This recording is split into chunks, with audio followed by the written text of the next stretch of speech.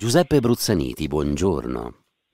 Buongiorno. E benvenuto davvero qui nel nostro podcast del Posto delle Parole per condividere, seppure nella brevità di questa conversazione, senza la pretesa di entrare proprio, ma stando appena appena sulla soglia di questo, di, questo, di questo, saggio, perché il titolo è invitante, ma è un titolo che eh, incute timore e forse anche tremore, come diceva quel tal filosofo, il titolo è Di cose visibili e invisibili dall'atomo al quark ai quark viaggiando nelle immagini della materia. E questo è il libro pubblicato dalla casa editrice Codice. Ricordo che Giuseppe Bruzzaniti, fisico specializzato in storia e filosofia della scienza alla Domus Galileiana di Pisa, ha svolto la sua attività di ricerca presso il gruppo di storia della fisica dell'Università di Genova diretto da Enrico Bellone. Ora, eh, è sempre bello ricordare Enrico Bellone, la sua attività di divulgazione della scienza, eh, scienziato piemontese, come lo ricorda Enrico Bellone, Giuseppe Bruzzaniti? È stato un grande maestro per me, io sono stato, diciamo, lavorato con lui per più di vent'anni, per un certo periodo una frequentazione direi quotidiana e poi lui, poi le cose della vita dividono perché poi lui è andato eh, prima a Padova, poi a Milano, io non io ero qui a Genova, insomma, quindi la distanza eh, c'è un po', c'è un po divide, ecco. Però la, il, il, lavoro che è stato fatto con lui è stato enorme, per me è stato un, grande maestro, insieme anche a Giulio Giorello, ecco, di cui eh, ricordo sempre le, diciamo, le scene con lui, la, la, la sua amicizia così generosa, e quindi ho avuto questa fortuna, diciamo, ho avuto la fortuna di avere grandi maestri. Ecco. Il libro che stiamo per raccontare, dall'atomo ai quark, è stato scritto da un fisico, come però ho detto poco fa, specializzato in storia e filosofia della scienza, alla Domus Galileiana di Pisa. Ci vuole raccontare questa, questa importante presenza nel mondo della ricerca e della cultura come la Domus Galileiana? Sì, la Domus per un certo periodo di tempo, purtroppo adesso non ha, ha cessato quell'attività e soprattutto il suo ruolo, ma negli anni 80-90 del, del secolo scorso aveva una funzione enormemente importante, seguiva in un certo senso un sogno, un progetto, che era quello di eh, riunificare eh, in un unico sapere quello che si riteneva che i più ritenevano essere qualcosa di diviso, non il sapere scientifico e il sapere umanistico. Ecco, la Domus Galileiana ha svolto questo ruolo, ha svolto il ruolo di presentare diciamo, una, eh, un'idea di, di, conoscenza che nasce dall'intreccio dei saperi, dei saperi scientifici, dei saperi umanistici. E anche lì eh, io ho avuto la fortuna di, eh, di essere, c'era stato un concorso e sono stato ammesso a questa a questo corso di specializzazione che doveva passare come il primo dottorato in storia e filosofia della scienza. Era l'epoca in cui nasceva il, in Italia il dottorato di ricerca. E, ed era praticamente, e, così è stato fatto, io mi ricordo, ho fatto addirittura anche discusso la tesi di, chiamiamola, che si pensava fosse di dottorato, ma poi in realtà è diventata solo una specializzazione, perché eh, in quegli anni, come probabilmente ricorderà, ogni, ogni 6-7 mesi cadeva il governo e quindi diciamo, la, la, legge che doveva far passare la Domus Galeriana, che era equiparata all'epoca alla normale liquida, alla diciamo, dare valore istituzionale, quindi dottorato di ricerca, cade quel governo proprio poche settimane prima che, che la cosa mm, dovesse essere discussa e quindi tutto si spense. Però eh, per un certo periodo la Domus ha svolto questo, questa funzione enormemente importante. No? Le, le, dico soltanto, tanto per avere un'idea, che i docenti con cui adesso, ho fatto questo corso di, di specializzazione erano nomi del tipo Ludovico Geunat, Eugenio Garegna, eh, e anche il eh, come, mi sfugge il nome, vabbè, eh, insomma personaggi di, di questo calibro. Ecco. E adesso cerchiamo di, di stare sulla soglia, nemmeno entrare in queste cose visibili e invisibili che eh, non hanno a che fare con quella eh, con quella, anche se eh, potrebbe entrare, no? Giuseppe Bruzzaniti, in quella eh, definizione del credo religioso, no? quando si dice, rivolgendosi a Dio, creatore del cielo e della terra, di tutte le cose visibili e invisibili, ma qui è la visibilità e l'invisibilità della scienza. Ecco. Uh, ed entrare in questo tema è affascinante, affascinante anzitutto, complesso, però ogni cosa se spiegata può essere eh, se non propriamente compresa del tutto, almeno ci possiamo avvicinare alla, alla certo. conoscenza. Quindi credo che sia già un notevole passo avanti, entrare in questo ambito semplicemente con, eh, con la parola della curiositas, come si diceva un tempo, per decifrare almeno un pochino questa realtà visibile, ma soprattutto quella invisibile. A lei il compito di farci vedere con parole sue, come si diceva una volta a scuola, proprio quelle cose che sono invisibili. Qual è il rapporto tra il visibile visibile e l'invisibile. Giuseppe Bruzzaniti. Ma forse vale la pena che le dica da dove è, è venuta l'ispirazione di questo titolo.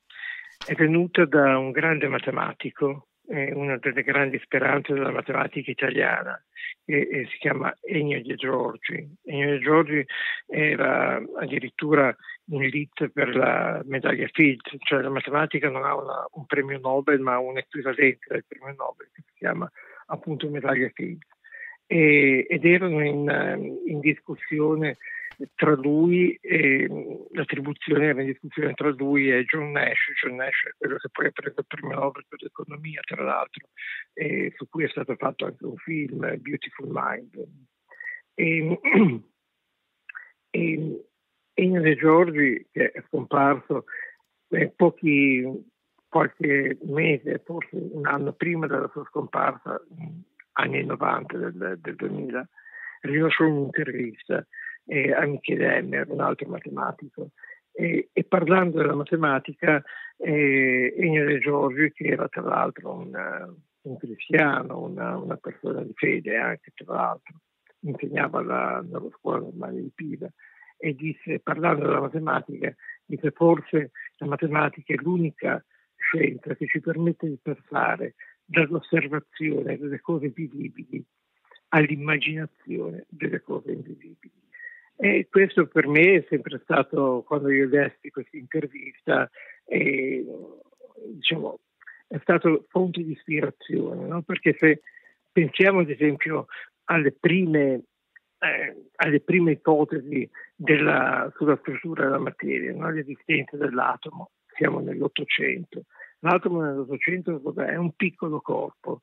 È, qual è la differenza tra un atomo e una pietra? Sostanzialmente le dimensioni, no? perché l'atomo conserva nella sua infinita piccolezza, diciamo, quelle che sono le proprietà che caratterizzano i corpi solidi, le pietre, no? tanto per intenderci.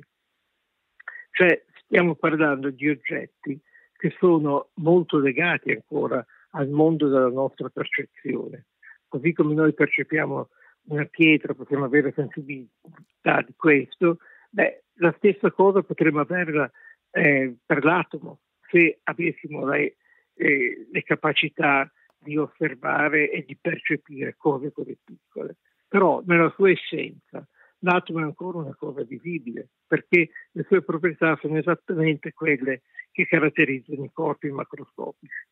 E anche andando avanti, quando eh, immaginiamo, quando pensiamo all'atomo come a un nucleo circondato di elettroni, anche lì facciamo, eh, leghiamo questa, questo oggetto nuovo a ciò che già conosciamo. Siamo ancora nel mondo del visibile, cioè l'atomo è un piccolo sistema solare ma se andiamo avanti nella scienza ci accorgiamo che dobbiamo sganciarci da questo, perché a metà del Novecento, alla fine degli, anni 20 del Novecento, ecco che le cose cominciano a cambiare, perché gli elettroni non sono più piccole particelle che ruotano, ma diventano qualcosa che hanno sia proprietà ondulatorie, cioè come le onde del mare sostanzialmente, sia proprietà corpuscolari. Quindi che cos'è un elettrone? Si comincia a, diciamo, a, a definire un'ambiguità no? che prende anche un nome, dualismo ondulatorio corpuscolare, che non permette più di agganciare questi oggetti al mondo della nostra esperienza, della nostra percezione. E più si va avanti, ed è così, se guardiamo adesso quelli che sono i costituenti della materia, cioè quark, gluoni, boroni, leptoni, nessuno di questi, eh, di questi oggetti ha eh, la possibilità di essere ancorato al mondo della nostra esperienza sensibile. Sono diventati, diciamo, entità teoriche, cioè qualcosa che si sgancia completamente dal mondo del visibile e appartiene a un mondo dell'invisibile, ma non perché noi non siamo in grado eh, di vederlo, ma proprio perché la loro natura è quella di oggetti invisibili. E paradossalmente noi riusciamo a capire, a comprendere ciò che ci circonda attraverso cose che invece non riusciamo per principio a percepire, a vedere. Abbiamo bisogno sostanzialmente di altri occhi. Attraverso cose che non riusciamo a percepire, a vedere. Quindi entriamo, Giuseppe Bruzzaliti, nel campo dell'invisibile. E qui il campo dell'invisibile eh, tocca sicuramente il tema della scienza, che è un tema fondamentale. No? E scoprire il campo dell'invisibile ha sicuramente un significato molto particolare. Già il verbo scoprire per la scienza ha un significato, lei lo racconta molto bene, eh, infinitamente importante. Però il campo dell'invisibile eh, tocca necessariamente eh, la fisica, eh, ma tocca anche eh, il tema della filosofia, perché qui non è che le scienze ragionano a compartimenti stagni. E quindi è importante anche toccare questo, questo elemento. Che cosa ne pensa Giuseppe Bruzzaniti? Certo, certamente.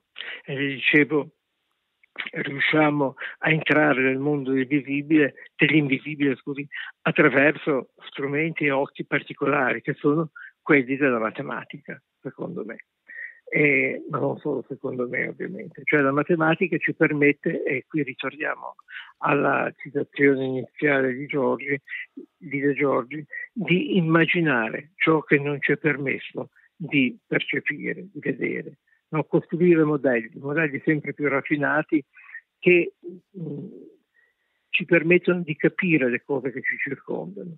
Uno si potrebbe chiedere, sì, ma allora eh, qual è la differenza tra chi sostiene eh, ad esempio che, che, lo spirito è tutto, chi sostiene che ci sono delle forze invisibili che eh, diciamo dai pianeti condizionano le, le, le, vicende umane come fanno gli astrologi e la scienza, anche la scienza allora, siamo tutti sullo stesso piano.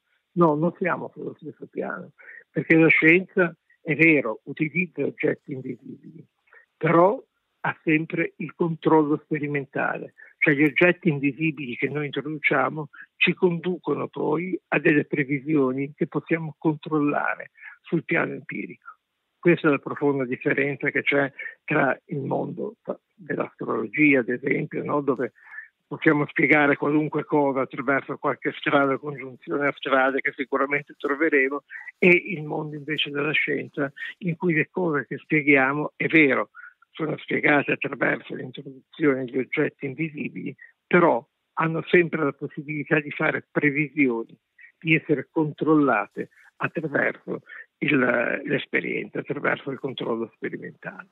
Eh sì, attraverso l'esperienza, il controllo eh, sperimentale, la stabilità, se ricordo bene, a un certo punto del suo saggio, citando Freeman Dyson, che diceva la nostra stabilità, anzi le parole di Robert Bridges eh, esattamente, esatto. quando parlava della stabilità eh, che è il solo equilibrio e la sapienza, no? E tutto questo sta nel controllo magistrale dell'imprevisto. Ora, se nella vita cosiddetta quotidiana noi dobbiamo sempre eh, andare incontro al controllo dell'imprevisto, a maggior ragione in un campo scientifico dove veramente eh, si ragiona e, e, e, e, si, si percorre una, una, ricerca sulla lama di un coltello, perché, o forse ancora, ancora più fine, perché l'imprevisto quanto conta in, quella, in questa ricerca, Giuseppe Bruzzaniti? Guardi, l'imprevisto nella scienza è, diciamo, è la magia sostanzialmente.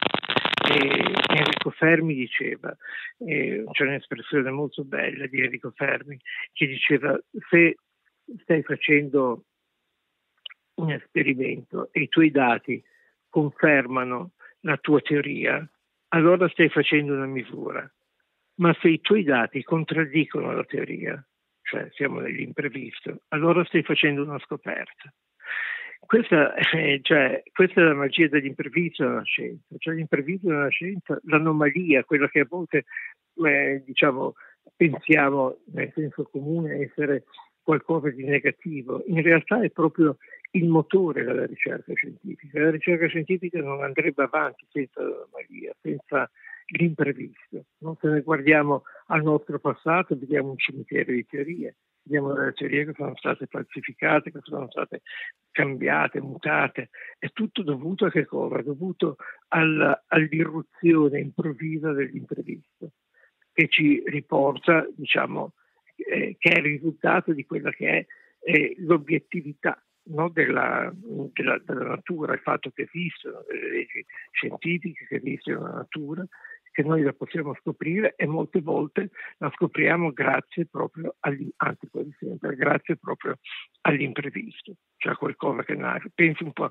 ad esempio alla, alla scoperta dei, dei, raggi uranici no? Dei, eh, o dei raggi X. No? Dei raggi, Röntgen quando scoprì i raggi X stava facendo esperienze sui, eh, sui raggi cattolici, insomma su, su un certo tipo di radiazione e aveva delle, delle lastre eh, di solfuro di, di, di solfuro di zinco, cioè di quelle sostanze che sono impressionate dalla luce, coperte da cartone.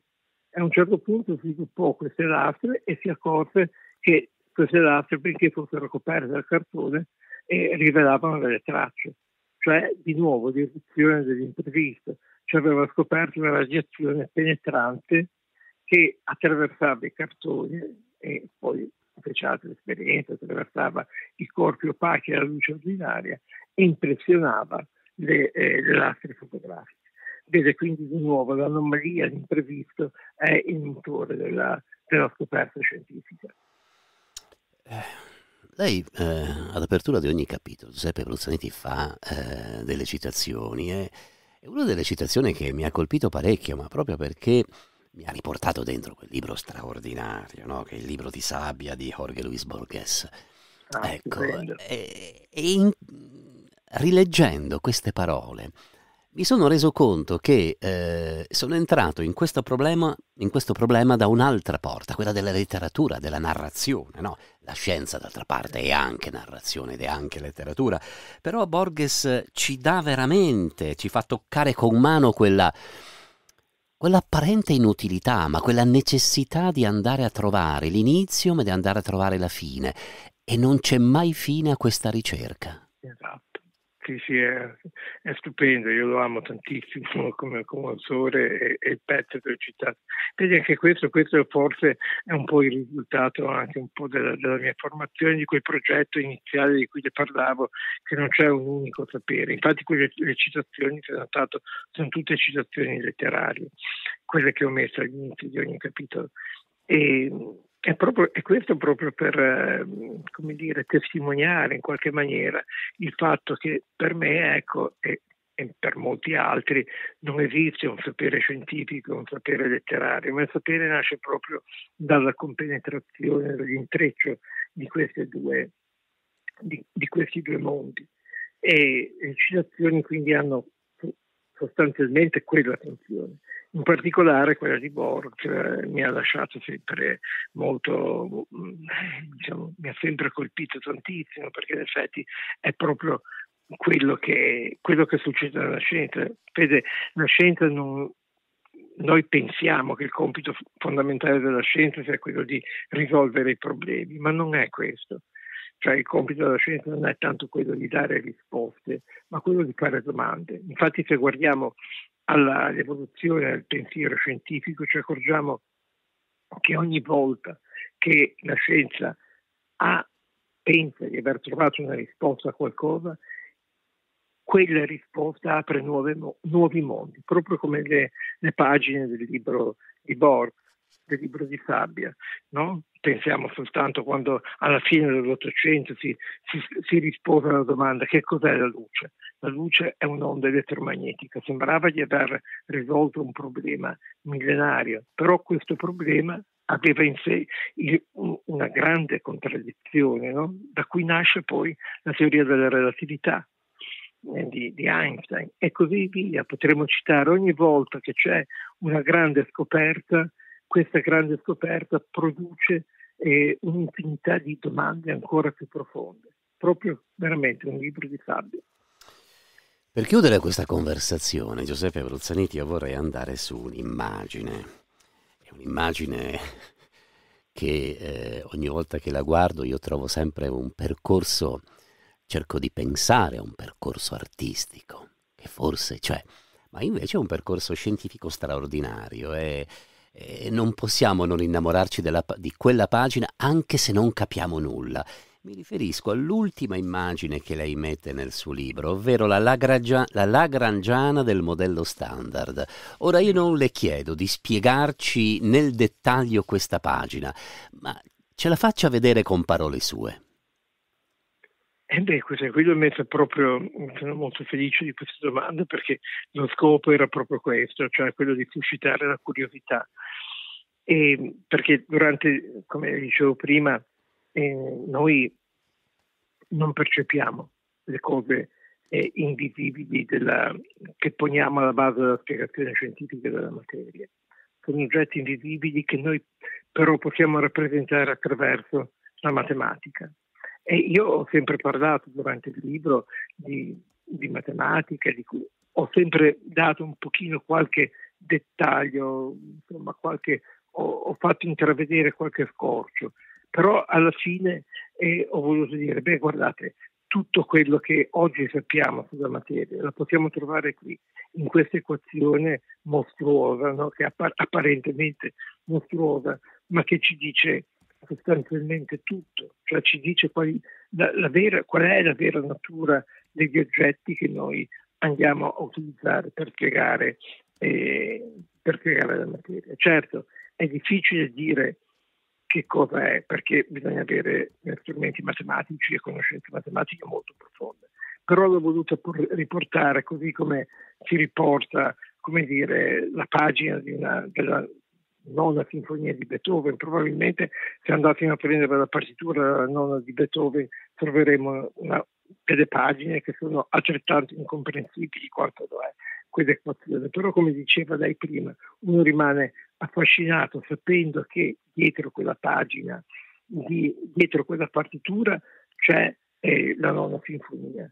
E così noi possiamo rimanere affascinati di questa equazione, perché sappiamo che dietro questa equazione c'è il mondo che ci circonda. Cioè la Lagrangiana, che cos'è? La Lagrangiana è una funzione matematica che ci permette di descrivere in ogni dettaglio un sistema fisico. E quella Lagrangiana lì contiene, ciascun pezzo di quella Lagrangiana descrive ciascun pezzo del modello standard, cioè sono i quark, cosa sono i bosoni, cosa sono i leptoni, eccetera, eccetera, eccetera. Cioè queste particelle trovano la loro descrizione, la, la descrizione del loro significato in quell'espressione lì.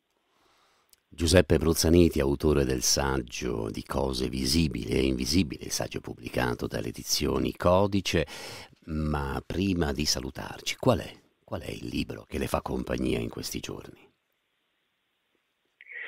Guardi, in que- proprio in questi giorni sto rileggendo, eh, diciamo forse per eh, problemi anche di, di, lavoro, perché ho delle altre idee, eh, un libro stupendo che è quello di Cassidy, Un'estrema solitudine, che è la vita e l'opera di Werner Heisenberg, che è un libro molto, diciamo, molto spesso, molto, molto importante, molto dettagliato, un bellissimo libro. E, e quindi niente, questo è il libro che mi fa compagnia in questi giorni. È il libro su Werner Heisenberg, stava dicendo Giuseppe, esatto. Giuseppe Bruzzaniti. E ho, e ho, colto in Werner Heisenberg anche una cosa, un, una banalità che io faccio quando leggo i libri, mi permette Giuseppe Bruzzaniti, se scendiamo in questa, in questa banalità. Vado a, a, sempre a curiosare, quando c'è l'indice dei nomi, quali sono le, le, i più citati e se non sbaglio il più citato è per l'appunto Werner Heisenberg. È stato un grande, della, della, è stato il protagonista dei più mm, grossi punti di svolta della fisica del Novecento eh, 1900, 1927 con la meccanica quantistica, poi con la teoria dei campi eh, e poi soprattutto a me quello che affascina di questo autore è diciamo, la sua attenzione verso eh, la, la, riflessione filosofica delle, della fisica che lui costruisce. No? Lui è stato anche protagonista di dispute e di, di, e di polemiche, di discussioni pesantissime con altri scienziati, la disputa con Schrödinger sulla natura della meccanica quantistica è stata, eh, diciamo, ha fatto storia, no?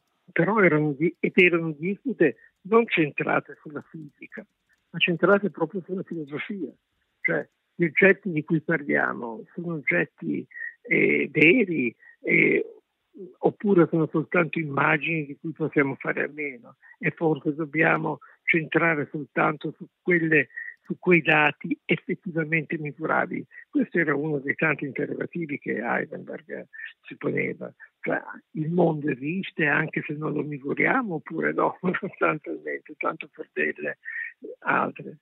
E, e, quindi un autore che mi ha sempre affascinato e credo continuerà ad affascinarmi.